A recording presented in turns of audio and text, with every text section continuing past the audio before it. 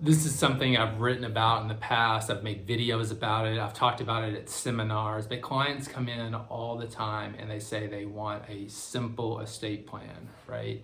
Um, and they will say, I don't want anything complicated. I don't want anything complex. And so this idea of simple estate planning versus complicated estate planning, I think is very interesting. I think it's very, very important to kind of address and talk about as well.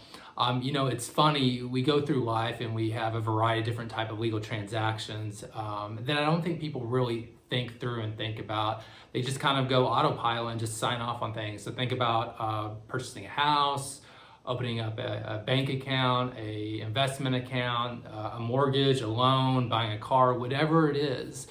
Um, people are not deterred from moving forward with these transactions because of the, the, the legal nature or the complexities that come along with these with these life events, with these transactions. And I think I think it's interesting that people are deterred from really seeking the type of estate plan that's going to protect them and their family from a variety of legal obstacles down the road. The reality is most of our lives are complicated, they are nuanced, they have a lot going on, right? So people own uh, a variety of different type of accounts, investment accounts, checking, savings, and usually with different institutions, not just one.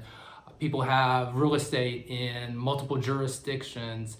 People are divorced and remarried, not just once, not just twice, but sometimes three or four times. People have uh, kids from previous marriages. They may have adopted uh, children along the way.